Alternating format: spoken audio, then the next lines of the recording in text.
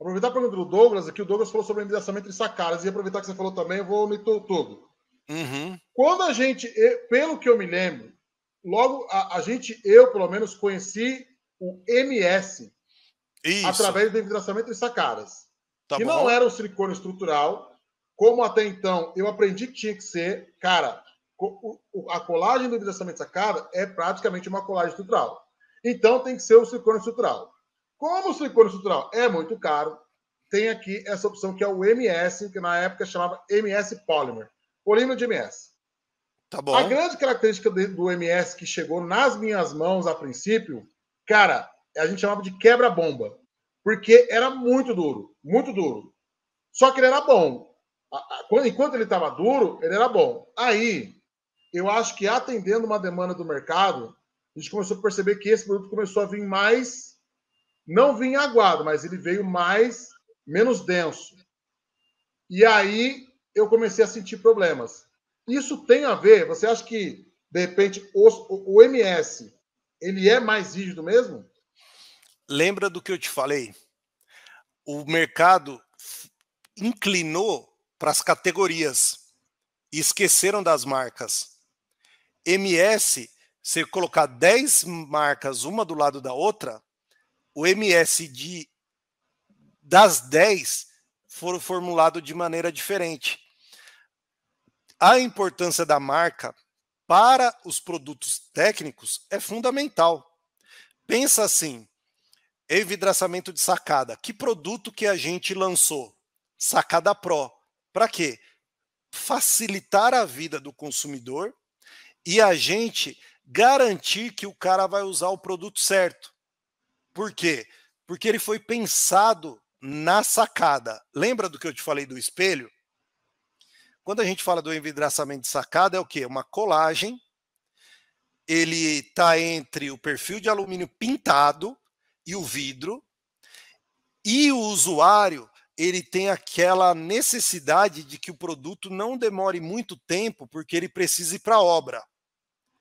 Esse foi o problema que a gente resolveu a força de adesão, lembra, a velocidade de cura e a garantia da segurança da aplicação. Foi aí que a gente formulou o Sacada Pro. Aí pode aparecer daqui um ano o Sacada Pro do concorrente. Vai ser igual ao nosso? Não. E o PU40 acontece a mesma coisa, com o MS acontece a mesma coisa. Você quando fala de um MS pesado para sacada, você tem a percepção do que ele era um produto melhor.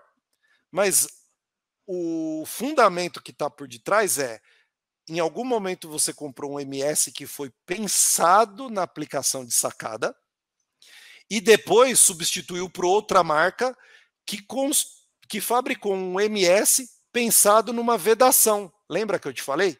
Que colagem e vedação são coisas completamente diferentes, aí a fórmula é completamente diferente, porque o MS construção de vedação, ele é um produto mais fluido, mais leve e tudo mais. Aí você leva para a sacada achando que ele vai colar e ele não vai colar. E você já percebe na largada, porque são produtos formulados para fins completamente diferentes. Léo, porque assim, ó, é, cara, eu já falei isso também em outras lives, assim, eu vejo que a questão do MS, ela complicou mais a vida do vidraceiro. Porque dá a impressão que a, a nomenclatura MS é uma pirueta que os fabricantes têm para não explicar o que, que é o produto. Não, é MS, cara, isso é MS, entendeu? Toda então, a base até... química Pode, não, pode. Até pegando aqui a, a, questão do Lucas, que está tá falando aqui, eu percebo que tem uma diversidade muito grande de selantes com características muito similares, com muito pouco diferença de valores.